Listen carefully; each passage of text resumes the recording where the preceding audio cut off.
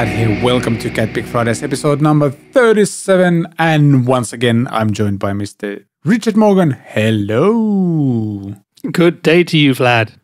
I hope you're well. I'm good. I've spent the last week since our last episode coming up with a new musical genre. Because if you remember, we had some comments about black metal, and I also gave Less Than Jake Hello Rockview as my album of the week, which is pure ska punk. And I've come up with a mishmash of the two genres, which I call Death Ska, which is clean upstrokes and blast beats at the same time. And it's as fun as it sounds. but I hope you're good. How have you been? Uh, first of all, can't wait to hear it. And second, uh, mostly well, though we talked about this just before we went live here or like started recording. I got some incredibly bad news with our car today, and I'm kind of broken right now. Let's put it that way. Like incredibly frustrated. Like uh, a few days ago, our car started like when you would turn it on, it would shake quite a lot, and immediately I could tell it's not good. Uh, but like the range of like things that might be causing that is is from like changing a single filter somewhere to like something's really broken. And about an hour ago, I got a call finding out that it's definitely properly broken, and we're looking at I don't know 1600 euros worth of repairs. Plus, we'll be without the car until the mid of next week. So, yay! Uh, so it's yes. going to be expensive, and you'll have to travel by reindeer exclusively until yes. the car is available again. Polar Bear Express, something like that. Yeah, well, that's cool. Annoying stuff. I hate cars. I, they're super useful, but I kind of hate them as well.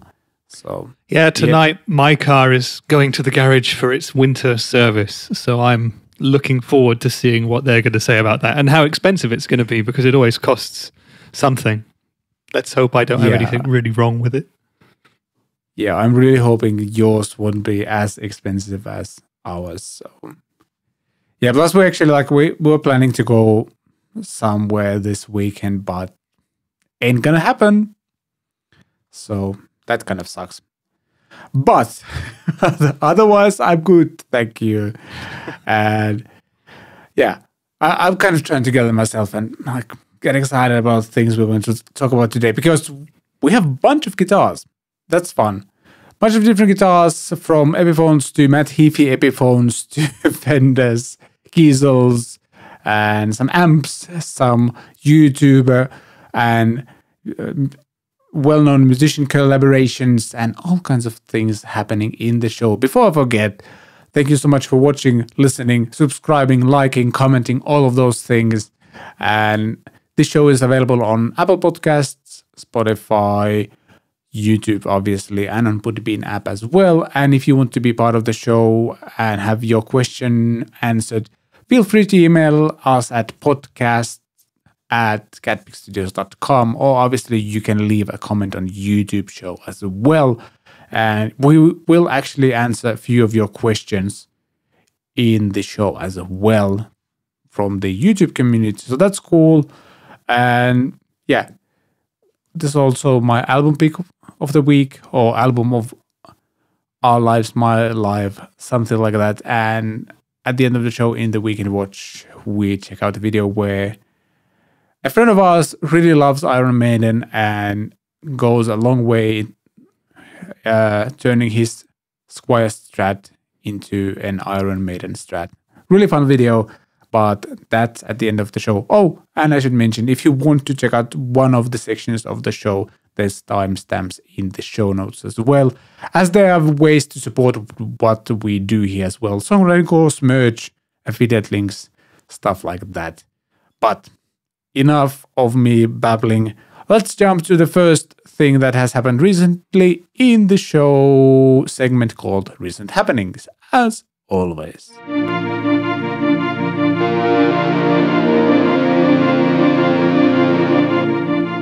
Catching! Thing number one is the Epiphone Billie Joe Armstrong Les Paul Jr. Oh man, try to say that as fast as you can. Epiphone Billie Joe Armstrong Les Paul Jr. Ah, I've been practicing saying it. give it a try. I wanna give it a try. Epiphone, Billie Joe Armstrong, Les Paul Jr. How about that? Your, Uh-huh. Yours was smoother than, than mine. So Yeah. well done. Well But done. you know, if let's imagine we were announcing the release of a, a Finnish signature artist's guitar Hmm. by a Finnish company, I would probably struggle just a little bit. Possibly. hmm As do most people in the world trying to pronounce Finnish. Indeed, So- exactly. I, I don't blame you. Apparently, it's one of the toughest languages in the world to learn. Yeah, I mean, uh, for a native English speaker, I'm quite linguistically talented. Let's say, you know, I've got the German Let's in say. me. I speak French as well, not as well as the German anymore. I can order coffee in Spanish, believe it or not. Oh, Yeah. And I can say Lochikama, which is probably a terrible version of dragon in Finnish, or at least my attempt at it. But yeah, Finnish, you know, it's. If you speak a couple of different European languages, you can kind of listen to Italian or Spanish or something else similar and sort of half pick up on things. But with Finnish, it's hmm. just totally alien to me. You, you get nothing whatsoever. So, yeah, yeah. yeah, yeah. We have very few words that are similar to other languages. Obviously, like English is kind of bleeding into Finnish as well a little bit, where we like some of the new words are kind of Englishified or something like that. So we don't like come up with a totally new Finnish word to but we take that English word and just kind of make it a bit Finnish.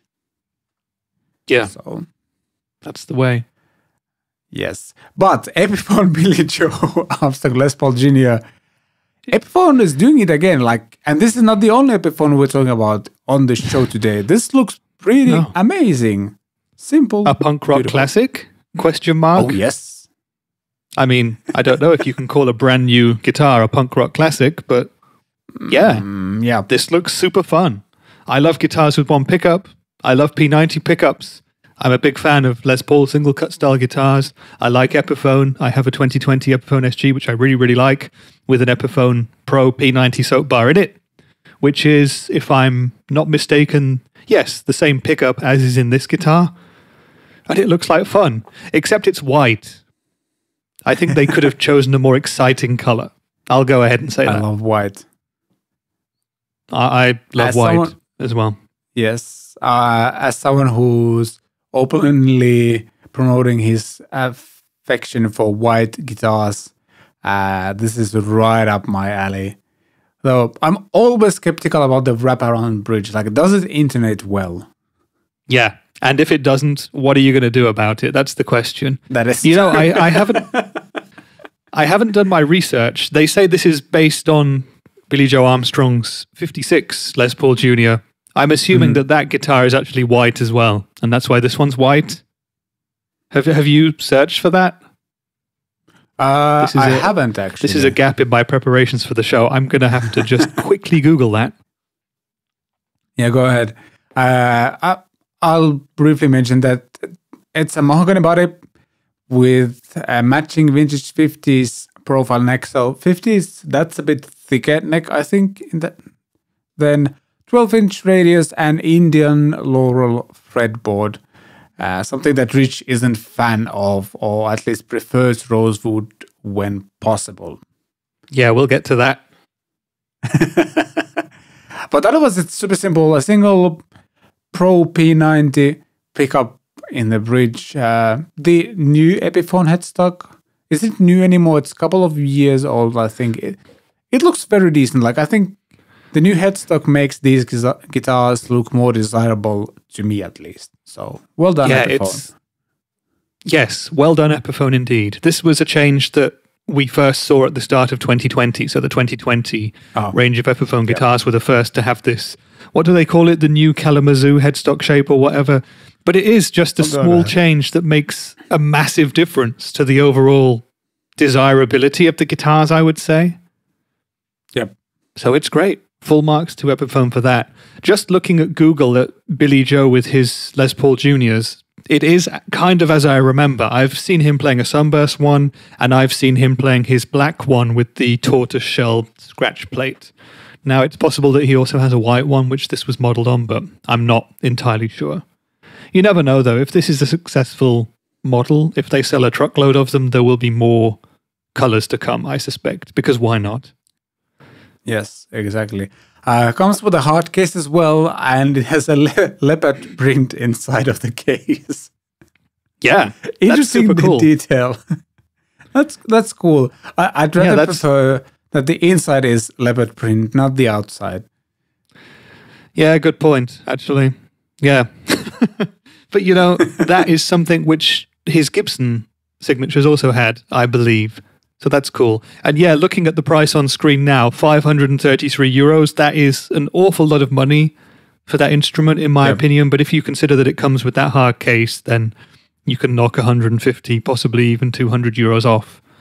It would be kind of cool Yeah. if they offered a version without a case or with maybe a gig bag, maybe a leopard print gig bag inside and out. but this is a cool guitar, and I feel a lot of people are going back to more simplistic instruments at the moment. There is that one thing that you Yeah. just mentioned while reading through the specs, the Indian Laurel fretboard. That's another area where I'm kind of, again, personally disappointed that they skimped on doing rosewood. If it's all about sustainability, then that's 100% cool. But if they just did it because they didn't want to pay for rosewood to keep the prices down, then I, I'm not the biggest fan of that. Yeah. In stock within about one week at the moment. So that's nice compared to some of the stuff we looked at last week where was it like 13 to 15 weeks? Few boss pedals, I think, and stuff like that. So Yeah, that's this great. is at least available for the Yeah, and it will be- Yeah, Christmas season, exactly. It has a Graph Tech nut as well. So there you go. That's cool. Epiphone Vintage Deluxe cool. tuners, which I also have on my 2020 SG. They're okay. Mm. They're, they're pretty good. The guitar stays in tune quite well in combination with a Graph Tech nut. That's going to be, it's going to be a fun instrument. I'd really like to Yeah. get one of these into my hands to give it a play. And of Yeah, course, I'm a big fan of Green Day. I should say that off the bat as well. Billie Joe is a, Yeah. an incredible songwriter and a great guitar player as well. I just love his melodic way of playing punk and punk rock. Yeah. I mean, it it just looks nice and very simple. And I'm trying to think whether I've actually tried guitars like these in the past because I might not have. You've never don't know, tried a Les Paul Jr. be- yeah, I probably need to walk into a local store at some point. Oh, by the way, uh, what were the guitars talking about last week? Uh, because the oh yeah, the pink PRS acoustic would be available in a local store to try out. Go do it. The one we Vlog it. about. Yeah, guy, maybe I need to message them and say, hey, can I stop by? If they still have it, that is. Who knows? Maybe it's sold out right away.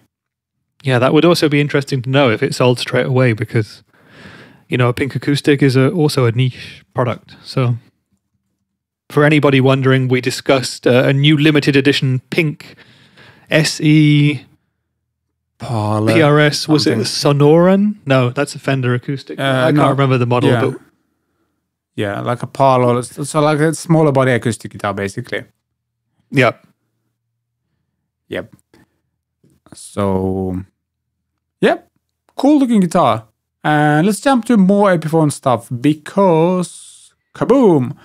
Matt Heafy reveals, well, kind of two new Epiphone signature models. Uh, apparently, his uh, original one was sold out a while ago already.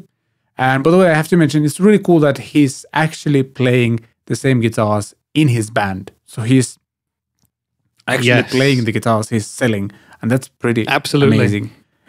So th- there's uh, a six-string one, which is a bit more traditional Les Paul shape, uh, 24.75 inch scale.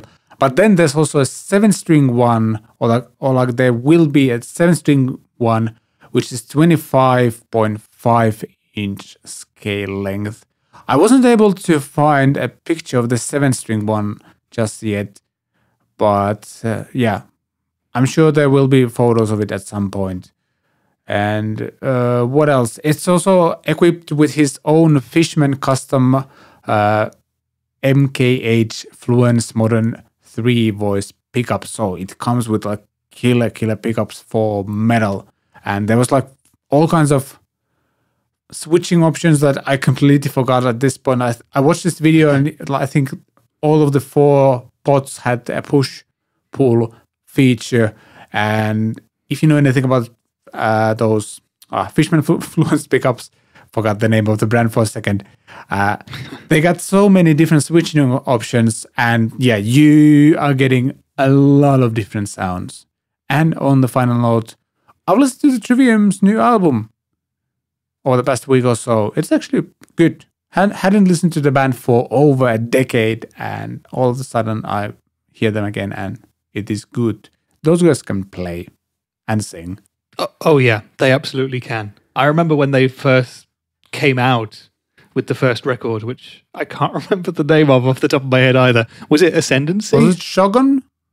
Oh, they had something like Shogun or something like that. Let me check.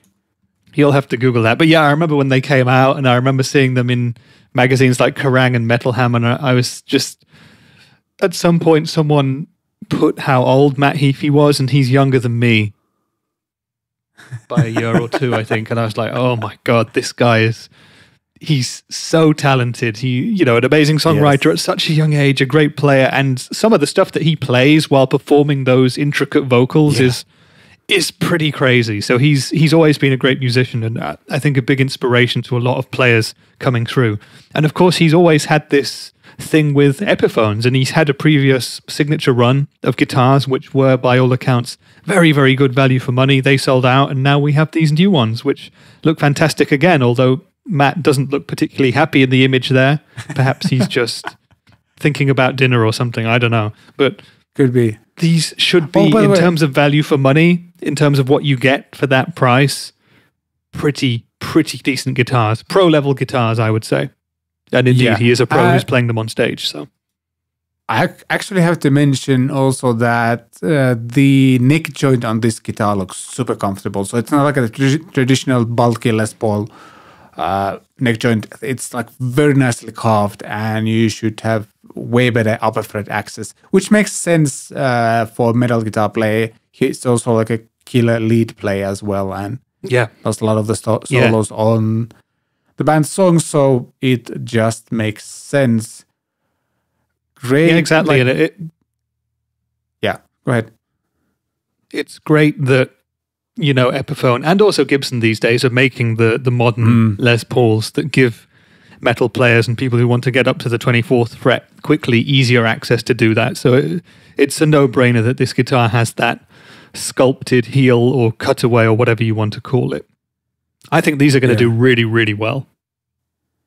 Yeah, I was just trying to figure out where is the like fourth tuning peg on the seventh string, but like we are checking out the Guitar World article, and I think there's like a video clip playing where you can see that the kind of upper side when you hold the guitar in the lap uh, the upper side of the headstock has four tuners and then there's three on the other side so that's how they space them out and oh also one another interesting thing to mention all of these models have a lefty option which is very rare also very cool uh, this is a case of an artist who clearly cares 100% about the instrument and about his personal use and enjoyment of it, but also the people who would buy it.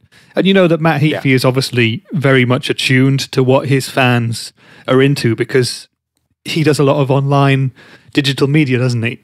He streams, yeah. he's worked with YouTubers before. It's actually Jared Dines, isn't it, who's toured with Trivium and played a few shows with them mm. in the not too distant past. So th- this is a guy yes. who's totally in tune with his audience, and I applaud him. Yep, I'm applauding. Yep. You you just can't see it because I'm not in frame right now, but I am physically applauding Matt Heafy. Your hands are just like us on the camera, and you are applauding very actively. They're just kind of wobbling around underneath. Yeah. Yes. I was applauding. Doesn't look weird more. at all. No. Uh, from Epiphones to Fender, Fender unveils the Acoustasonic Player Telecaster. So an Acoustasonic Teleshape, but made in Mexico, and it's uh, as Ryan of 60 Cycle Hum pointed out in his thumbnail, it's cheaper now and slightly less featured as the American made one. But this is an interesting move, I gotta say, because it's. I'll try to find the price as we speak, but it's not like that much cheaper. Uh, it's uh, one, uh, 1079 euros at Thomann as of shooting this video, and that's I'm probably getting like Finnish prices for this, so in Europe. Uh, 1099 at Thomann, available which, immediately, shipped to Finland, which is an interesting price point. Um, yes, I've looked at the you know the forums that I read, and they're mostly UK based, and in the UK you can buy a, a new but B stock American built Acoustasonic guitar for about three hundred pounds more than this Mexican one. So Whoa. they're quite close in terms of price points. It's going to be interesting to yeah. see what people make of them and if they perform anywhere near as well as the American ones. I don't think the fact yeah. that they have less tonal options will put people off. And I guess I the natural it. next step is going to be in six months' time. There'll be a Mexican version of the the Jazzmaster Acoustasonic as well. Oh yes, yeah, definitely. Yeah, it's uh, one one seven seven seven for the US made one, the Acoustasonic Telecaster. That is. So there's a 700 euro price difference. That's a lot, but it's not that much. I don't know. I mean, all the profits go to the same company at the end, so I don't know if that really matters, but it's an it's interesting. I mean, I think it totally makes sense for them to build affordable versions of their more expensive instruments, but yeah. I also feel like I mocked the Acoustasonic a little bit when it came out, and I don't want to make fun of this guitar either too much. My my question is still, who's buying these? I, I really would like to know for whom they're the most practical. I can totally imagine that if you're a, a live player and you're playing a set where you play acoustic and electric songs in the same set, if you want to have one instrument to do all of that, you could use one of these. But I don't think it's the kind of guitar you'd sit with at home and just noodle sat on the couch, right? I mean, you had the Acoustasonic. What, what does it sound like actually acoustically? It's actually a perfect noodling guitar on the couch because oh, okay. there, there is the acoustic element, uh, but it's not as loud as I like. If I get my dread on and sit on the couch, uh, no one around me will be happy because it's a big body guitar. It's loud. This isn't. Yeah. And the Jazzmaster version I had sustained really well and it was just a lot of fun to play. And I kind of wish I could have kept it, but I also need to feed the family, so I wasn't able to. But I mean, I think like it's growing on me more and more. Like I like, like especially after having one, I like the concept a lot, and like pairing acoustic guitar sounds with more like electric guitar style playability at least. It's not like exactly the same as picking up my telly or anything else but it's way closer. I really like that idea of it.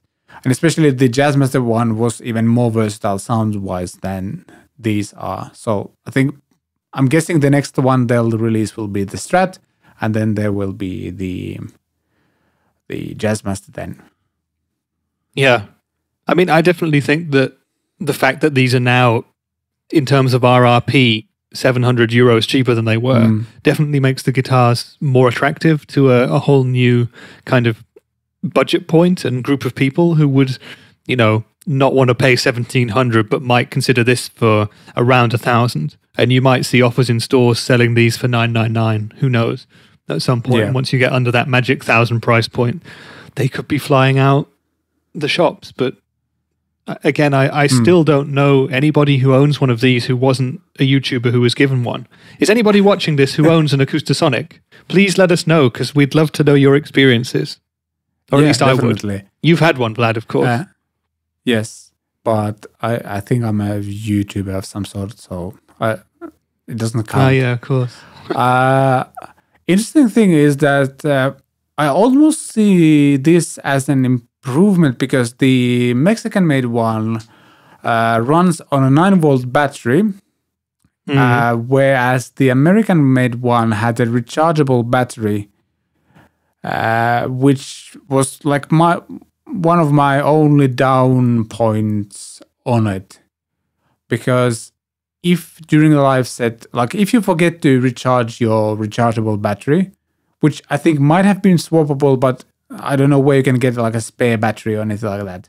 If you run out of battery during the show or just before the show starts, I, I'm not sure how you would deal with that. Maybe there was some solution I'm forgetting right now. But here you can have a bunch of 9 volt batteries with you and swap a new one, you're good to go. So that might also actually be an improvement in some situations over the US made one. So, Yeah, I would agree Yeah. with that. and also like I don't, I felt like uh, the Jazzmaster version had 10 different sounds. So, like a five way pickup switch, and then there's the blend knob where you can blend between the two. I think these have six.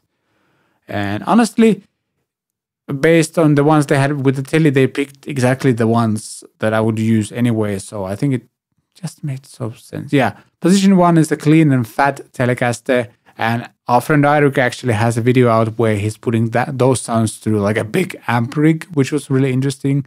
He got some cool, unique sounds. That way, uh, position two is lo-fi clean and crunch, and then there's a small body and dreadnought acoustic. So you're getting the acoustic sounds, but some clean and crunch sounds as well. And yeah, I think it's cool.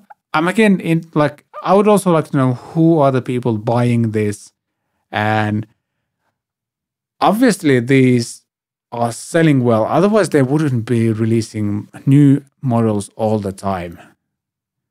So that would be just bad, bad business, and I don't think Fender is doing bad business. So Yeah, I, yeah, they they must be selling. They must be doing well. Otherwise, as you say, there would be no point in doing another version, another model, a slightly different version. So yeah, Yeah. it's fascinating. Perhaps this is a model which is selling more in North America than Europe, and we're less kind of in tune to what's happening there. I'm sure this is Could a be. decent guitar for um, worship players, right? mm, it's kind of perfect for that, actually. Especially the Jazzmaster one. I played one set where I had just the guitar, nothing else, and then for some song I could go because that one had a bridge humbucker and there was like a fairly drivey setting on it. I could just flip that one, do the lead thing, and then for the verse, quickly switch to a completely acoustic guitar sound and play that. It was kind of cool. So, yeah, it's perfect for that kind of stuff. And as Yeah. we know, Do you know when- like in US, yeah, the Do you know when US these are going to be like- available?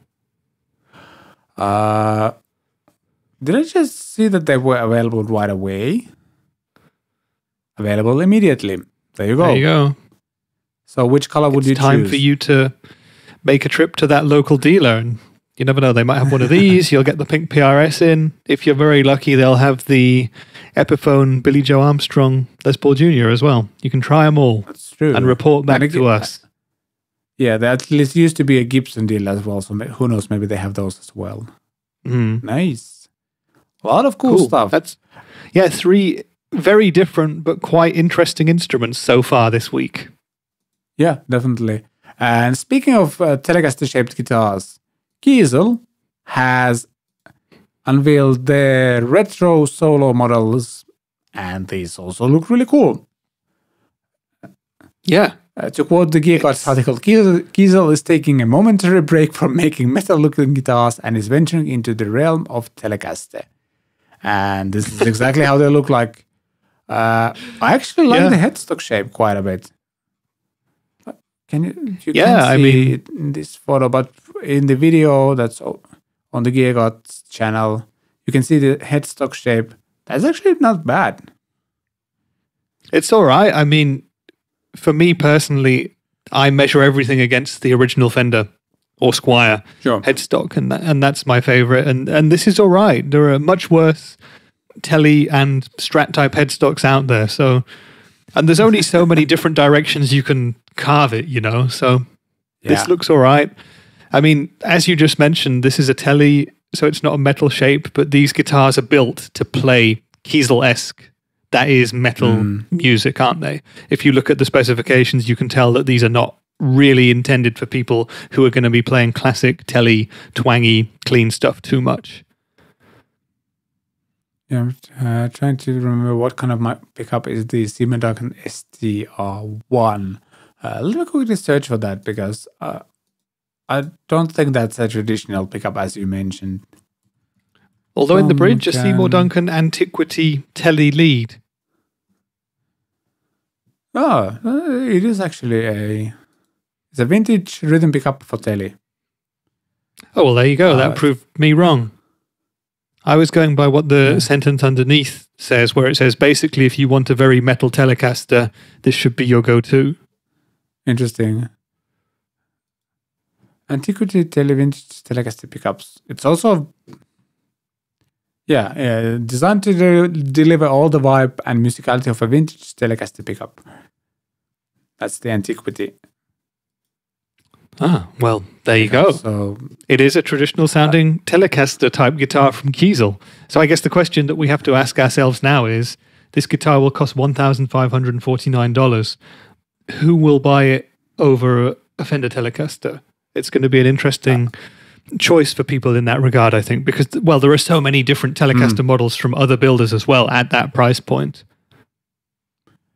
Um, I'm gonna say this is probably the Telecaster for people who already own a Kiesel, and I also I'm also saying that because a lot of uh, metal guitar players, when they venture into more vintage style instruments, they usually go for tele because like if you come from a metal background as I do, hello, uh, I think it's easiest to transition to telly. It's very different from your dual humbucker thing, but there's still like this kind of I don't know punchiness and power and everything we associate with Telecasters.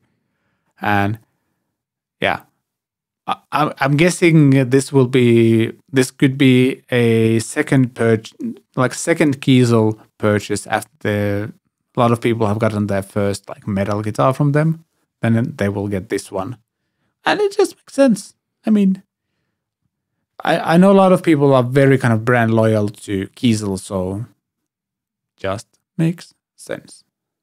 Yeah, and I suppose look the nice. other thing is if you're a Kiesel player and you're at home with the Kiesel neck, you will probably oh, be at Oh, home with this because I'm assuming this is going to be a Kiesel sort of very comfortable, modern feeling neck profile hmm. as opposed to being, you know, some massive old Nocaster or Esquire neck. So Yeah, exactly. it's probably going to be a very cool guitar. And, you know, there are many other makers, like I've just said, doing stuff that looks and sounds similar at similar price points, you know, from Fender to Suhr to many, many others. But yeah, Kiesel inspires quite a lot of brand loyalty. You're right. And th- there have been a couple of Kiesel controversies over the past few years, but I believe that most of that has been and gone, I think. Apologies have been made, and I think a lot of people moved on. And so this is cool. Mm. I- The one problem with us for Kiesel is that there is nowhere for us to try these out, is the except if we order them. And then when you order them, Yeah. you've you- you've got the guitar, haven't you? I'd love it if they opened Yeah, some that- kind of a showroom over here. I wonder if they ever would consider doing that. I guess not, but Yeah. that would be nice. Hard to tell if if their business is purely operated from US, like Yeah. it's not cheap to get one to Finland. Or like doesn't make sense because you probably can get something like that from a local luthier as well, some, somewhere over here for that money. Because the tax da- does add up in Finland. Like it's immediately plus twenty four percent. Then there's the import tax, like importing fees and all of that as well. So if it's uh, fifteen forty nine US dollars, uh, it's immediately uh, like times uh, 1.24 for me at least. So Yeah, I would say- VAT, shipping and Yeah. all of that. 2,000 euros minimum, I would suspect, for someone in Europe who's going to be Yeah, ordering one of these. much. Of course, the solution is for someone like you or me who's going to the NAMM show, fingers crossed, if the NAMM show happens in June, get one of these, take it back on the plane, and hope that nothing happens. Not that I'm Exactly. condoning any illegal actions or anyone, you know, trying to not pay taxes on instruments that they've purchased. Let me just say that I know that there's people who have done this before and there will be people who'll do this in future too. But yeah, that would be one way of doing it. Yeah, definitely. I mean, at the very Well, I mean- least, we'll get to try these at the NAMM show, so that's cool. Yes. Let's hope that actually happens. From Kiesels to Catalinbread. I've never understood the name of this company. Ca- Catalinbread's new cloak pedal both reverberates and shimmers. We're checking out the Gearguards article. Yeah, it's a reverb and shimmer pedal. There's a lot of these around. Yeah. so, so I, I don't mean to be like uh, negative or pessimistic or anything like that, but I'm having a hard time to tell this apart now. All have cool graphics, Yeah. all are shimmering and reverberating, and that's cool. But I don't remember which thing. pedal is which anymore. Sorry about that. Yeah, that's the thing. I I really like the look of this pedal. I've watched the video which Vlad is hovering over right now, which features our good friend Jay Leonard Jay doing his thing with the cloak, and of course he makes it sound amazing because he basically makes everything sound amazing. But Yes. the, the slightly the slightly unique thing about the cloak is that it's a single pedal, so you've got just the one control, but you can kind of you have a room style reverb and shimmer at the same time. So you you start with the room reverb and then you kind of blend in the shimmer as you want it over the room. And so, as they say in the text here, um, the size of the room can be dialed in from anywhere between a small closet to the vastness of space itself within reason, which is a very interesting description. And then, you know, you can stick some shimmer on there as well to get some beautiful harmonically laden overtones as it's described here. So everybody knows what shimmer reverb is now. It's become Yes. a common thing. Uh, again, something beloved in the worship community. And this is a pedal that mm. you will test alongside the, the 5, 6, 7, 8, 10, 20 other pedals that do this at the moment before you make your choice. Yeah, that's true. But I mean, if it reverberates with you, then that's the pedal I go with. That was a very bad joke I tried to make. That was a that was a Please pretty poor me. pun, yeah. How many weeks have you been for- waiting to tell that joke? N- Not too many, but it it's just the car new the broken car news broke me. If that makes any sense, I'm not up to the regular speed right now. My mind yeah, is understandable. Understandable. Well, full full more marks for trying to be funny. At least that's good. Thank you. Much appreciated. And before we head uh, to Joyo Band Amp uh, meteor and Tweedy stuff, a word from our sponsor, though. Again, we are the sponsor, I guess. Something like that. You can become a good songwriter, but in order to get there, there's something you need to do write a lot of songs. Songwriting is often portrayed as something that only people with special talent can do, but in reality, it's as most things in life. The more you do it, the better you'll get at it. However, finishing a first song can be a challenge, and even if you manage to write your first song, doing that on a consistent basis is hard. That's where Get Songs Done can help you. Get Songs Done is a songwriting course that teaches you new, structured songwriting method that guarantees you will finish your song every time. Get Songs Done was born from a real life situation of having a family and a day job, but still wanting to write and release songs. The songwriting method makes sure that whether you have 30 minutes or 3 hours at your disposal, you'll always know what to do next. I am not telling you what to write, but I am showing you how to structure your songwriting process so you can actually finish the song. We'll go from different ways of coming up with song ideas to creating a rough song structure, arranging your ideas into a well flowing song, and adding those sweetening details to make it sound exciting and professional. During the course, I will put everything I teach into practice and write a song from scratch using the Get Songs Done method to demonstrate each step of the songwriting process. And because most of us are not multi instrumentalists, I will teach you how to work with other musicians, how to do that remotely, and how to make those sessions fun and productive. There's two versions of the course the standard and VIP. The VIP version has everything that the standard version has, but you also get to submit your song for me to review. I will capture my initial reactions to your song and my in depth feedback to help you get even better at songwriting. So basically, you'll get your personalized Vlad Reacts video and some encouraging feedback to help you grow as a songwriter. And until the end of 2021, Catpick Fridays listeners can get a special 40% discount on either versions of the course by using the code 2021 upon checkout. Oh, and did I mention? The course comes with a full 30 day money back guarantee, no questions asked. So sign up today and we will get songs done. Sorry, the joke was. It was right there. I had to.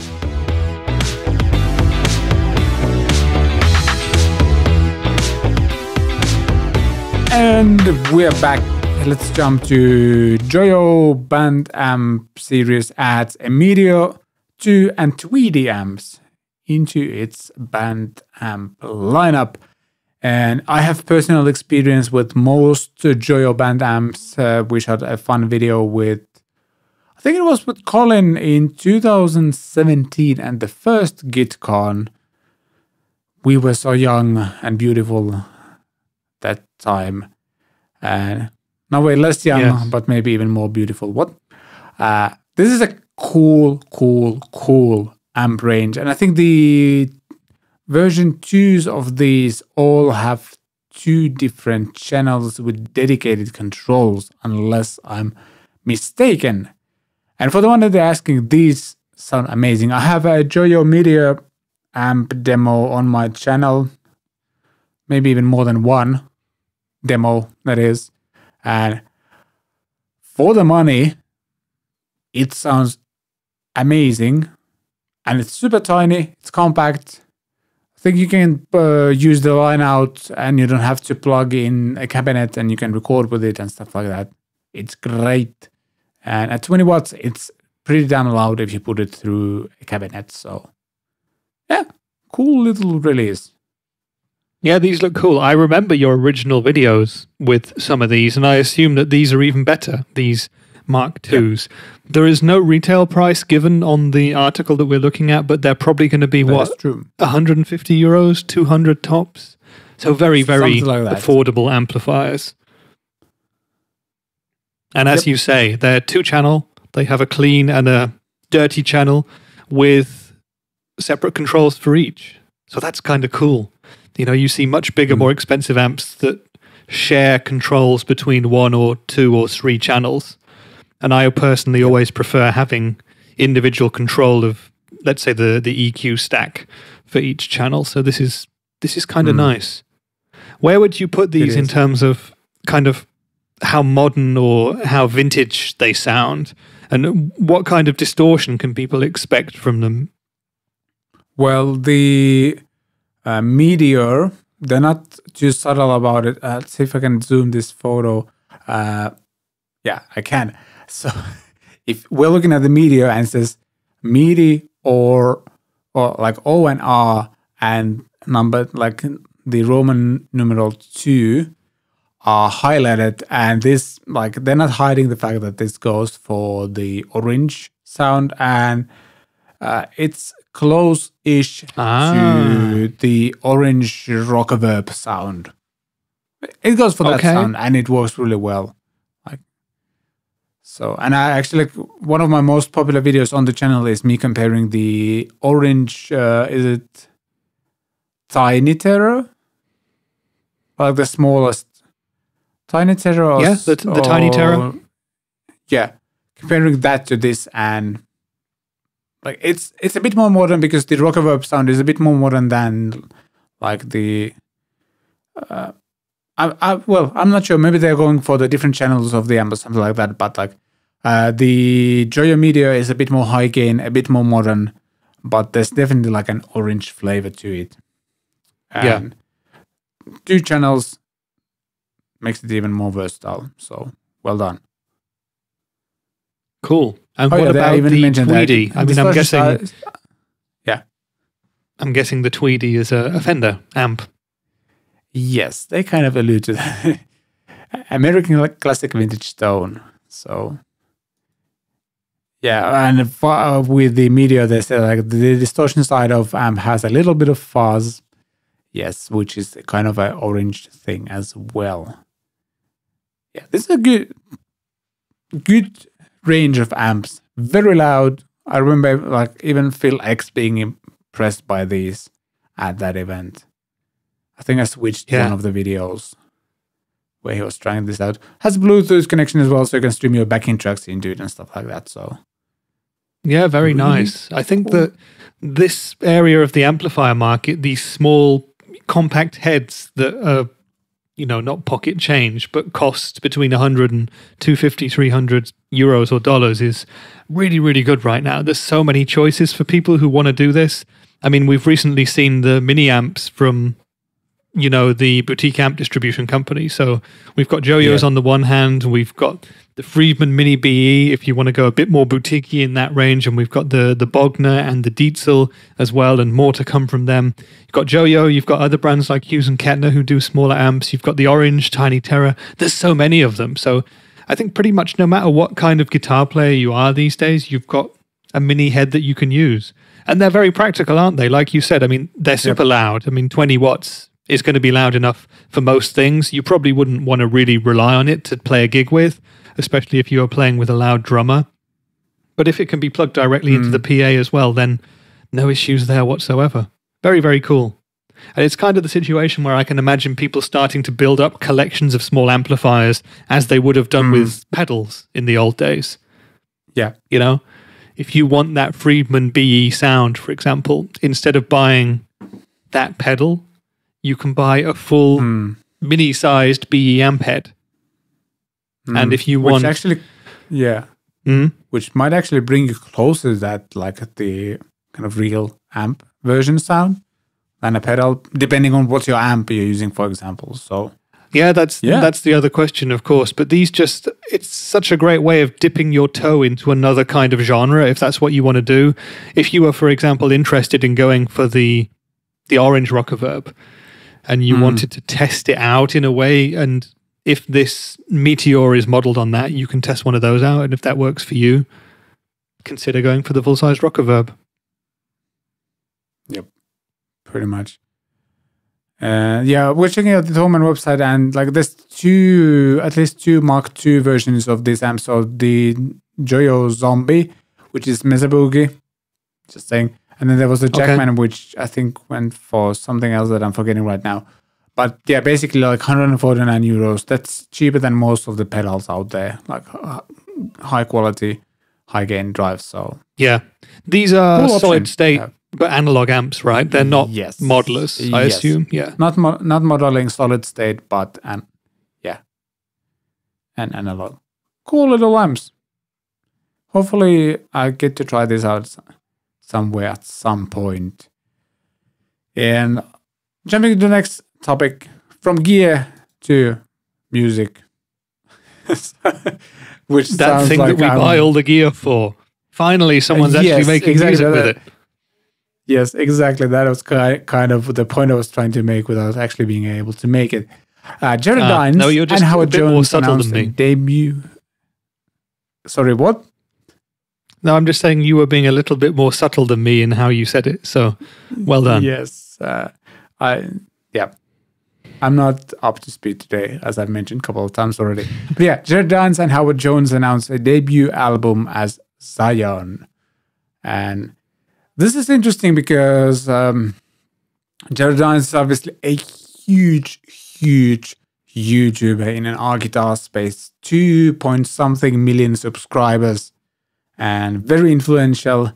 And then Howard Jones uh, is a singer. or Is he an ex singer now of the band that we both grew up loving? So this is kind of cool. So yeah i'm guessing that Yeah, jared dines also grew up idolizing them and now he gets to yeah, make a record with with howard jones the singer from one of his favorite bands And Howard Jones is Yeah, an that- incredible vocalist. Like he's a great singer, and his scream is one of my personal favorites. I think it's one of the best. He's such a versatile Mm-hmm. vocalist, such a strong voice, such a massive Yeah. set of lungs as well. yes. Not that I've seen his lungs. I just assume they're gigantic. In fact, I once remember reading an article about them where the guy wrote lungs like cricket bats, and that's always stuck with me, just imagining that he has these two humongous lungs that just fill his abdomen. But based on how he sings and the notes that he puts out and holds, it's entirely possible, I would say. I am not a scientist, but it's entirely possible. Yes, definitely.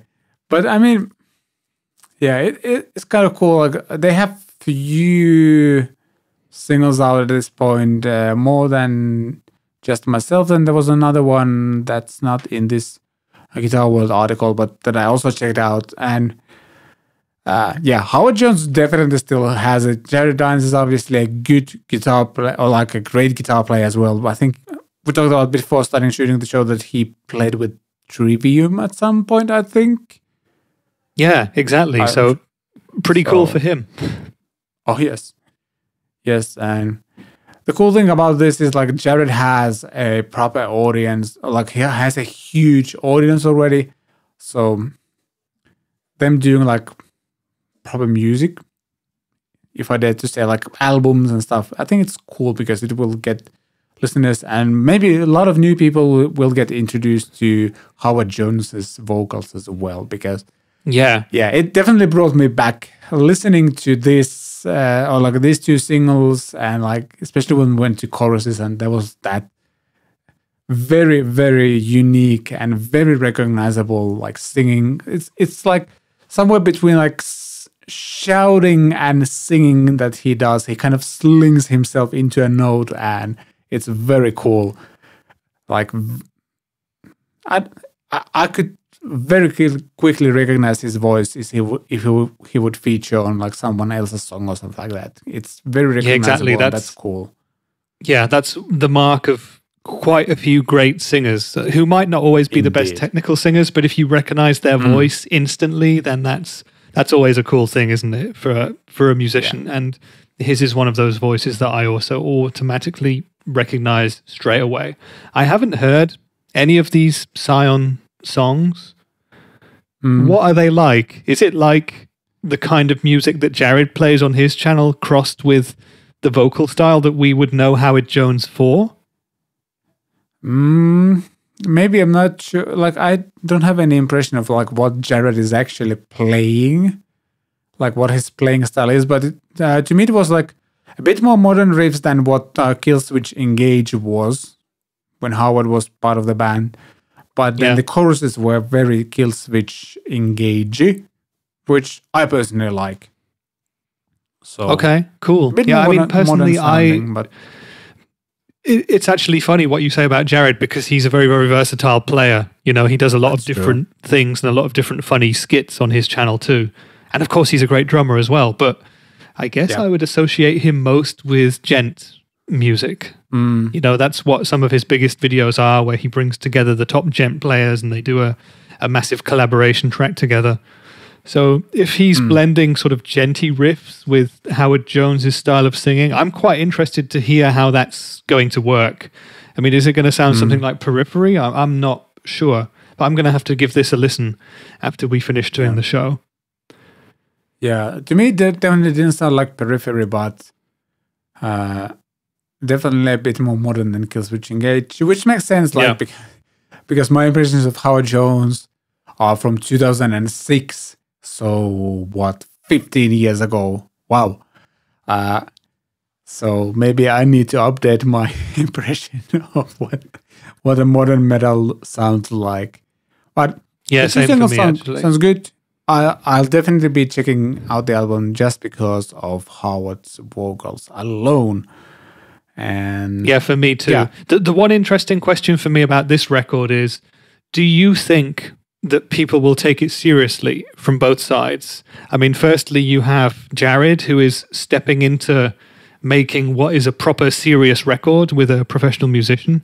And on the other hand, you Mm. have Howard Jones, who is a, you know, pretty much a super a superstar, a superstar in the metalcore industry, or was for a while. You know, a, a hugely Yeah. well-regarded vocalist, and now he's doing an album with a YouTuber. So you've got these two connected but also different worlds coming together. Do you think people will take this seriously, or do you think people will more see it as kind of like just a project between two friends? It's uh, it's hard to tell. I feel like there's been a lot of YouTubers who are trying to start their own solo projects, uh, either alone or like with some other artists.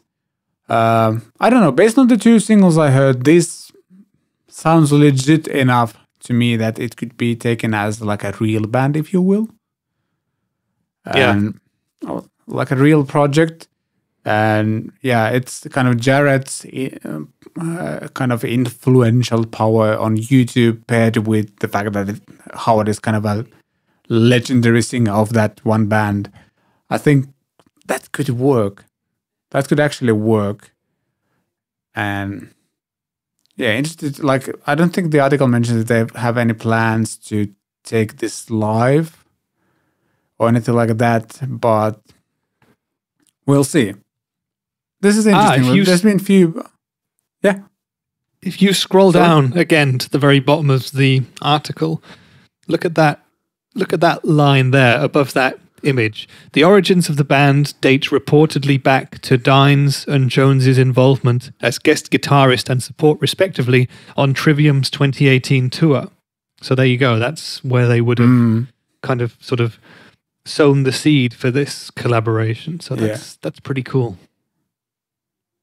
Yeah. Uh, the thing about that, like, I was impressed with was the fact that these songs actually sounded very decent. So, like, actually, like good songs. That that that's where I feel it fails sometimes. I don't want to bash him too much, but like, uh, you know who Anthony Vincent is, the 10 second song guy. I know the all 10 the second songs channel. He, he's I also a name. gigantic channel. And Yeah. he, he's amazing at imitating like all kinds of singers and music styles. Yeah. Yeah. But all of the solo material he has released hasn't really worked for me. It, it it felt like okay, this is this is an incredibly talented guy that needs to be paired with like an amazing songwriter to get most out of that collaboration. This felt more like like they have something going on.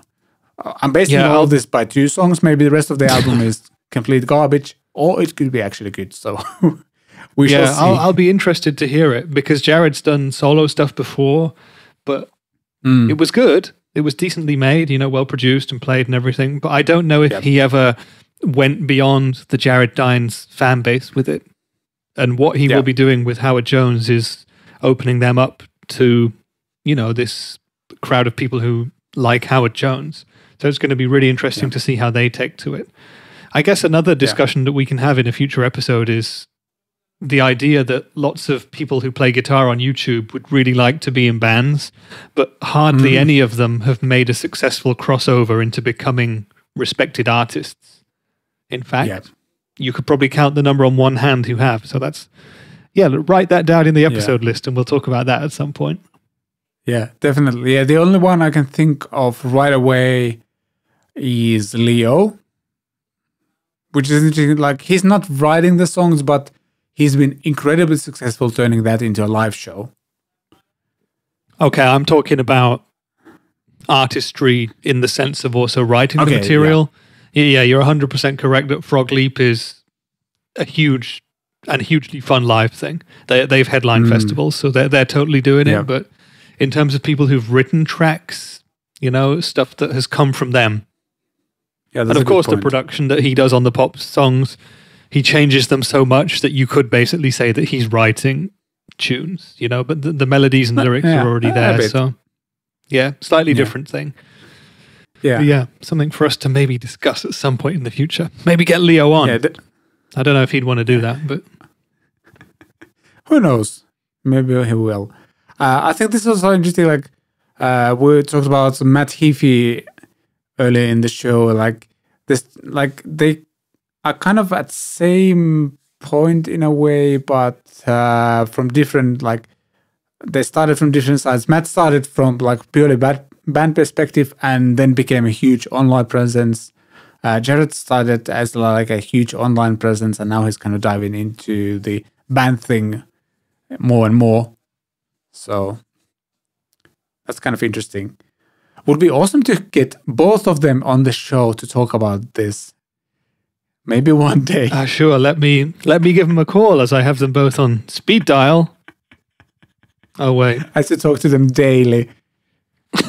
Yeah. Yeah. Now, if we've got the budget, they'll come on. I happen to know that That's this will not be something that we'll get for free. So there you go. Yeah. So if people, if enough of you lovely people buy the songwriting course links in the show notes, we'll get these guys on. All right. Stupid jokes aside, it is my time to pick the. Oh, come on. Albums of our lives pick. And spoiler, it actually relates to what we just talked. So let's dive in there right away. Like plastic on a CD shelf, these are the albums of our lives. And what I meant by what I just said is that my album pick for albums of our lives, lies, albums of our lives. That's a different segment in the show that we'll introduce at some other point. We'll tell, yeah. Uh, albums of our lives, Killswitch Engage, as Daylight Dies. I know everyone loves. Is uh, what's the name of of, that album? End of her, Yeah, end of a heartache. Right, the previous album. Yep. So I know for a lot of people that's the Killswitch Engage album. For me, it's this one. Uh, I think I got introduced to the band through Guitar Hero, actually. So this album came out in 2006. And I'm, I'm to say it was Guitar Hero 3, maybe. And I remember me and my brother playing that a lot. I was actually playing way more Guitar Hero than I was playing the actual guitar. Well done, me. And yeah, this album blew my mind. Like, from uh, My Curse was probably the first single I heard, and it was amazing. Like, it's it's a very simple song, but Howard Jones's vocals, those heavy riffs, and all the things in this album, like I'm I'm gonna say this album and the previous one, the uh, End of Heartache, have probably influenced a countless amount of bands because watching Trey's uh, live streams, the songwriting contest live streams where people submit their songs, and also like the song critique live streams, there is so many bands there and artists there that sound like Killswitch Engage, but especially the riffs and the way they structure their choruses and stuff like that. It sounds like Killswitch Engaged, and yeah, yeah. So what was One it of my- about As Daylight Dies that you prefer over the classic? Because I think, you know, The End of Heartache is my Killswitch Engage album as well. And I think that that's the one Yeah. that most people would say is the Killswitch record. What is it about As Daylight Dies that for you is is better? Is it just that it arrived at Uh, a more important time in your life or something where it was more kind of inspirational to you? Or is the do, do you think the songs are better or the production? Uh, I think it comes down to the fact that this was the one, the first one I heard. Simple as that, really. Yeah, that, Uh, that's I've often the listened way to both is. of yeah. them. Yeah, because uh, this is the first one I heard, and this is the one I fell in love with. And then I started to check uh, what else they had been doing, and it, it's probably like that nostalgia thing. Like because I really like this so much, I just went with it and like really, really dissected the whole album and listened to it countless of times. And yeah, I, like looking at the track listing, uh, pretty much remember every single song from this album. Like not the special edition bonus track version, though I think I've listened to that one as well. But like I, I can almost like remember all the choruses from it and all of that. It's just that this was the album I heard first, and because we weren't living in the Spotify and Apple Music era at that time yet, uh, this was the only album I had access to. I think I might have had a physical version of this, but I'm not 100% sure. So I might have downloaded the album not so legally at the time. Please forgive me. Confession time. You're forgiven. Thank you. But yeah, it's it's just that like uh, even going back to end of or like going then going to end of heartache, like I think that album have some of the songs are better than on this one, but it's just like it's such a monumental thing in my teens that it's I just, yeah there's nothing I can do about it uh, anymore. It's kind of engraved somewhere in my musical ID and it's there. Yeah, that's the thing. We've talked about it quite a lot on this segment before, but there is that really important time in your life, you know, when you go through adolescence from maybe early teens, maybe a bit younger through to maybe early 20s or something, where Yeah. I think your musical taste is kind of confirmed and sort of burned into you. And everything you hear afterwards is kind of measured up against that. And it is true what you said about the first record that you hear by a band that you fall in love with. That's also often the one that you will cite as your favorite, no matter how that is kind of regarded compared to the rest of the band's output. I mean, As Daylight Dies Yeah. is a great record as well, but for me personally, it would be the end of Heartache. But there's a lot of other Yeah. bands that I've heard where I've heard a different record to my friends first, and I'm saying, yeah, this Mm. record is the best, and they're saying that one's the best, and it's just the one that got into your brain quicker and just sort of stuck itself, lodged itself fast in your long term musical memory, you know. That's the way it is. Yeah, exactly. It's a very good choice of album. So I'm I approve with Thank two you. thumbs up. Which Yes. is a system need your we haven't used in ages. Yes. Do I do I need your approval? Uh, I'm going to reply with another Catpick Studios classic. Unlikely. Uh, but Ugh. yeah. Uh, oh, uh, yeah. I have to mention, like, speaking of that, like, how it was like.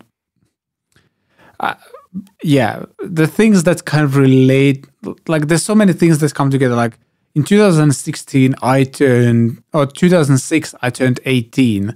So that may, meant that I got my driver's license. Actually, I got my driver's license on the day I turned 18, and I owned a car at that point. And I obviously installed like a CD player that could uh, play like those uh, burned CDs where you would have like folders of albums. And this was one of the albums on the first CD I burned for that car. So I would drive around in my uh, not so new Honda Civic and listen to this album. And because, you know, like all of those things kind of go together. And like, even though maybe End of Heartache is a better album, this just brings me back to good old days. And we're Yeah, all this about is- nostalgia at this point. Yeah, this is the So- album of your life. This is not necessarily In objectively the best Killswitch Engage album. So it's a legitimate choice. Well, any album that we pick Yep. for this is a legitimate choice, unless it is the album of our lie and we try and get cool points by selecting a classic record that we don't actually listen to, in which I haven't done so far. I mean, why else would I have chosen Less Than Jake to try and get cool points? There's nothing cool about ska Yeah. punk. That But was a fun Scar- album, by the way. I listened to it a couple of times. I really enjoyed it, and actually, my oh, daughter Oh, it's an enjoyed it amazing well. Album. It's, it's yeah, it's fa- fast, energetic music. She liked it as well. So, thank you. perfect for perfect for kids that's for sure if you want to get your kids dancing don't play them Killswitch Engage play them less than jake That, yeah, that that's probably true. yeah So, but yeah, one of my favorite albums. Uh, I guess the only thing is like I don't come back to it that much anymore, just because I know like every single riff and every single vocal line and everything from this album so well yeah that it, yeah, I kind of don't feel like listening to it. But you never know. And one, Yeah, one of these days. I kind of hope uh, I'll actually like do a cover of one of these songs just to feel nostalgic again. Yeah. By the way, just looking at the the page that we're looking at, this album was released on Roadrunner Records, and I'm sure everyone hmm. watching or listening to this is familiar with Roadrunner. It has been one of the biggest metal independent labels for quite a long time. I don't know if it's still an independent label, but it was back then. Do you remember, Vlad, that Roadrunner did a series of compilation albums where they would get artists together from bands on the hmm. label and they would do songs as groups? Roadrunner Oh, United, I think it was called. that. So you get like guys from Trivium and Killswitch and Machine Head all doing songs together. That was a really strange time and resulted in some very interesting but actually not that great collaborations. So Uh, that's yeah, not going to be an album that- of my life, but it just I was just reminded of it from this, and also Yeah, from the fact that we've I talked about forgotten that. collaborations earlier. I'm going to have to Google that as well. Uh, what do you think of the Holy Diver cover that's on the special edition of the album?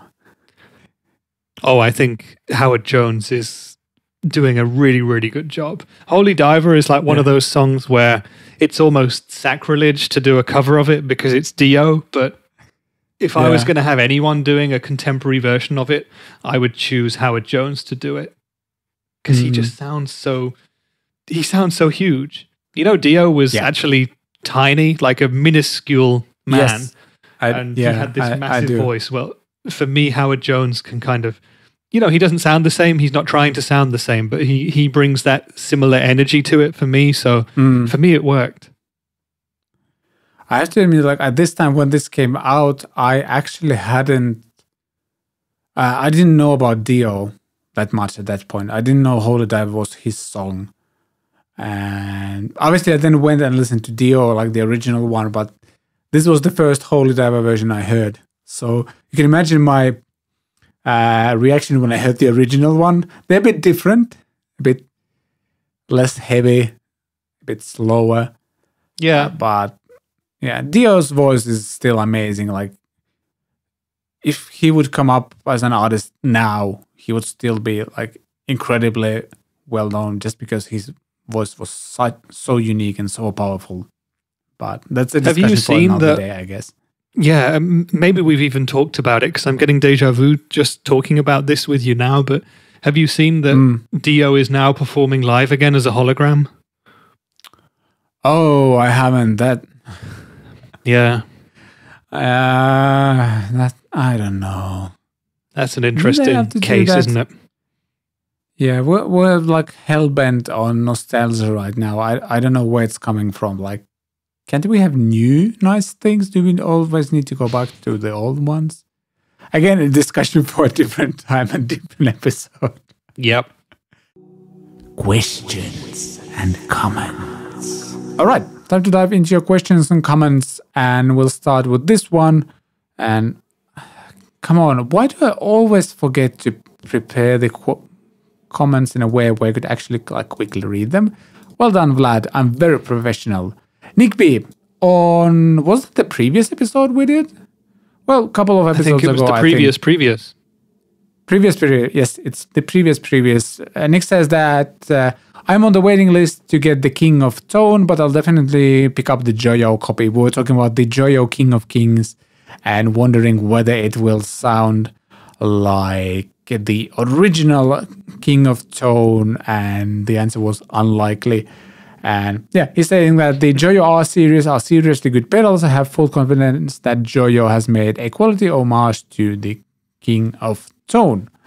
First of all, Nick, thank you for letting us know. This is very interesting to hear from some, from someone who's actually on the waiting list and still thinks they want to pick up a King, not King of Tone, ki, King of Kings. So many kings here. I get confused. Mm-hmm. Yeah.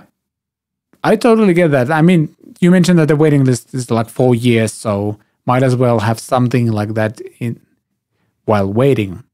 Makes sense to me. Yeah. If you really want that pedal, as I do, I'm also on the list. Don't forget. I think next year is when I'll get to the top of the list. But yeah, imagine Ooh. if you've still got three and a half years to wait and you really want that King of Tone sound, and the King of Kings comes out, it's it's kind of a no brainer. I mean, we Yep. still don't know exactly how much the Joyo is going to cost. And I literally just searched it as you were reading the question, and it doesn't seem to be available anywhere yet either. So we're still waiting to hear final pricing and availability on that. But it's it's definitely going to fill that hole until you get the real King of Tone. Of course, you know, there's Mm. plenty of other pedals out there that do the King of Tone sort of sounds with similarly distinct names that mention royal people in them. But yeah, the R series is a good series. They they make decent pedals. So I agree with Nick in that I have full confidence that this is going to be a decent homage. Yep. Yeah. By the way, Uh, are, are you familiar with the the line I agree with Nick? Uh, unfortunately, Does not. that ring any bells for you? Okay. It's a British no, no. politics thing from a few years ago. Ah. So if anyone in- watching this is interested in UK politics and your ears pricked Who's up when? I said that line, let's let's never speak of it again. Okay, got it, got it. But yeah, thank you, Nick. Appreciate it. Uh, question number two, or co- comment number two, comes from our friend Alexis Pelli, who com- who was actually the one who asked uh, whether we like what our favorite black metal bands, and we gave him a really comprehensive non-answer because we're not really black metal experts. And Alexis is, is commenting, guys, so happy you that you included my question and great answers. Thank you. Uh, like watching Immortal, I had nice laugh yet big appreciation for your dedication. I, I love the fact that somebody appreciates that we at least tried. So thank you. okay. Yeah, like we said previously in the episode about something else, full marks for trying. I mean, Yeah. it's it's cool to get questions like this that knock us out of our comfort zones. If we were just doing the same old boring stuff every week, it would be a boring exercise, wouldn't it? But Yes. now at some point we're going to have to listen to some black metal. So thank you again, Alexis, for forcing us out of our comfort zones and making me come up with Yeah. the Death Ska genre over the past seven days. Have you started writing the album already? No, I've done nothing. Ah. I've just come up with the genre, but I feel like I'm still a pioneer in that respect because I have my genre and I just need to start filling it up now. That's that's the way it is. That is true. You have the Yeah. moral or some sort of like upper hand in this. Like I came up with it. We have video proof of that. Yeah, exactly. Cool. If anyone ever comes up with a Death Ska band, which they probably already have, by the way, I just came up with that Yeah, off be. the cuff this morning. But it, if there is a Death Ska band, it's you owe me twenty percent of whatever you earned. Cool. Let's roll with that one. And the third question and comment was from, please forgive me, uh, Dale Palmer on a live stream that I actually did yesterday, which would have been Wednesday, 17th November 21, 2021. Uh, and he just said that I enjoy seeing your song creation and recording process. And thank you, Dale. That is very much appreciated. Uh, yesterday, I, or for you guys who are watching on Friday, so on Wednesday, I did a live stream where I actually pick up to one of my songs that I had kind of written for the boss video we did uh, for titled "How to Sound Like Synthwave on a Guitar." So I picked like I really like how that song turned out. Oh, we lost Rich for a second. Uh, yeah, I really liked how that song turned out, but uh, it wasn't like a complete song. There was like a guitar solo on top of it and stuff like that. And I wanted to. Hello, you're back. Welcome. I don't know what happened. But I'm back. Well- Did I miss anything important? Yes. Uh, I'll have to rewatch. nothing else than I just mentioned that uh, I basically picked it up, picked up a song that I had kind of already written, or like it's a like a 50 second instrumental, and now I'm working it into a real song. And on that live stream, me and uh, with a bit of help from Poo Ninja, we came up with some dummy lyrics for that song, or at least the chorus, and we actually came up with a story for that song as well. And the song will be about um, it will be a story like I was driving, like I met you somewhere. We were driving around the city in the night, and then we went to a nightclub, and you were the only one out of us two who was let in, and I never saw you again. That's the story of the song that we're writing over there. I think that's a good synthwave story to tell in that very That synthwave song. Sounds nice. Starts out like a Bruce Springsteen song, ends up like something else. something else indeed. Uh, but yeah, uh, in that stream, I do like I took the elements I had from the instrumental version of that song and kind of took them further. Started to add like dummy vocals and, arranging it a little bit. And I will continue that project most likely next week. So, so yeah, I plan to do the whole song live, maybe minus the mixing part, which will be very boring to follow if I sit there for three hours just mixing the song. I don't know if anyone will enjoy that. But otherwise, I plan to do all of the things live. And this was first time for me singing or like recording vocals live while people ah, were you were watching. singing on That the was- live stream. Yes, I was singing on the live stream. By the way, it took me like two weeks to figure out all the technicalities, how to make it work, to have like kind of triple camera setup and all of that. But it worked, and I'm happy. So Very interesting. Well, I, I definitely agree with Dale, and I agree with Nick.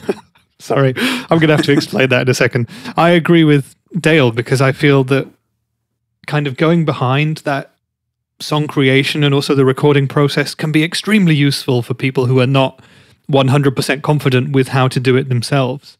And I feel like you can have that explained to you a hundred times. And of course, it would be easiest to be doing it yourself and have, you know, like a songwriting recording master with you to help you out. But to actually watch you going through it is definitely going to be really helpful. And I also really enjoy watching videos like that. I recently also watched a similar video this week by a guy called Jim Lill, who is an amazing American hmm. session guitar player who very sporadically releases videos on YouTube, but he's a great kind of country and rock guitar player and performer, composer, session musician, uh, sideman guitar player. And he did a video where he he didn't write a song, but he went through the whole recording, mixing and mastering process for just a country song. Can't, the the son of a son of a sailor man or something. This this song was called. It was one that I didn't know, but he you just have a live stream of him in his room. He plays the drums, he plays the bass, he plays the guitar, he does the lap steel, he does the the vocals and the harmonies, he does the other instrumentation, whatever it was. Being country, there was hmm. probably a banjo or a mandolin in it. I can't remember. But then he quickly mixes it as well and masters it, tells us all what he's doing at every step of the way. And it was just really, really useful. There are just little tricks that you get to learn. It's things that become common sense once you've done them or once you learn from hmm. someone more experienced. And it's just something that I think could help improve everyone who watches it. So, again, Dale, I hope you learned a lot and I hope it helps you in your future song creation and your recording processes and you end up with writing and producing better songs in future. And Yep. because everybody is asking, I can tell I agree with Nick was a political story in the UK. There was going to be an election coming up. It was David Cameron for the Conservatives and Gordon Brown for the Labour Party, the two big parties. The third party in the UK is the Liberal Democrats, and they had a leader who was called Nick Clegg, who is actually now one of the highest people at Facebook. So you've probably heard of Nick Clegg through his Facebook stuff. But anyway, they had a live TV debate and they'd ask the the three leaders of the three parties questions and you'd hear David Cameron say something, you'd hear Gordon Brown something, and you'd hear Nick Clegg something. And how this TV debate went was that Nick Clegg would say something, and then the other two would both say, I agree with Nick. And everyone left that debate with Nick Clegg winning because the other two just agreed with everything that he said. And it ended up being that the UK entered its first ever coalition government. No, not its first ever, but its first coalition government in many, many decades with Nick Clegg being deputy prime minister to David Cameron's prime minister. So that's what hmm. I agree with Nick is. UK politics done. Let's move on. And apologies for the last 30 seconds. no, it's good. I, le- I learned a new thing or two. So Yeah, you Thank can you. entertain people at parties for years to come with that anecdote. Absolutely. Or I might forget it in five minutes as, after we've done. Uh, I've already. here, It's gone. Who's Nick again? it's gone. Yes. Uh, that live stream thing I just mentioned, it's up on the channel. Uh, weirdly enough, I haven't been able to delete the first few seconds, like um, the first minute of that stream because I had my audio accidentally muted. And somehow YouTube's editor is kind of broken right now. I just cannot like cut out the first minute, so I had to add like a comment there. So, oh well, I will figure it out later. And yeah, it's a fun watch. And yes, stay tuned for the next episode. Most likely next week. I don't think I'll be doing one tomorrow, and I try to have weekends off. So yeah, I'm excited to see where the song goes from here. And Rich, I might invite you for a lyric writing session as well, because I know you're a lyricist type of guy. So if you are interested, hop on and we'll write some beautiful emotional lyrics. Yeah, I'll, I'll hop in for sure. I would love to. And I can imagine you, me, and Poo Ninja together. That's the holy trinity of lyricists, Yeah, pretty well- much. Yeah, we're the Max Martins of the YouTube songwriters. Absolutely. That will, that's going to blow people's minds. Wow. Yeah, they definitely will. All right. From uh, Max Martins and UK politics to Weekend Watch, where we actually do go to UK, and more on that in just a second. Watch it. Watch it. Watch it. Watch it. Watch it. Watch it. Video. It's not like you have anything else to do. Yep. This week's Weekend Watch comes from Colin Scott or CS Guitars. Our good friend Colin had a really cool video where he takes a Squier Strat and turns it into an Iron Maiden guitar. And I gotta say, I didn't know he was such a big Iron Maiden fan, but this is really cool. He basically just goes for a guitar that looks like Adrian Murray's strat that he's really well known for. Uh, I I love this kind of mod projects. I love watching other people taking guitars and like modding them into something else, both like uh, you know looks wise, but also like so they go for a certain type of sound or something like that. And Colin is honestly like one of the best doing that this isn't his first mod project. He has also like built several guitars for auction, for charity and stuff like that. And yeah, I really enjoyed this video and I love mod projects on YouTube. So also his playing The is really good on these. Yeah, yeah, he's he's a great player and a great presenter, and he looks proper Oh, yes. metal in this video. I've not watched it yet, but I'm definitely going to.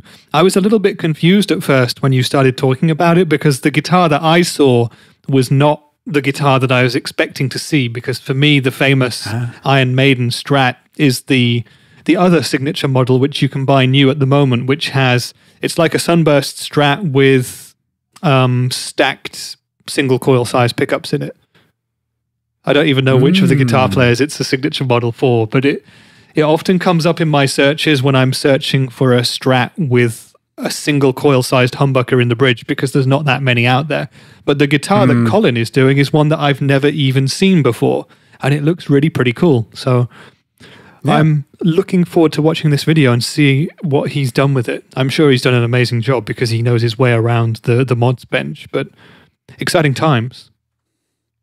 Yeah. And I'd also like to see him dressed like that Yeah. in public too. Yeah, that's true. Uh, that uh, the amount of sleeveless work maiden shirt and in- those wristbands.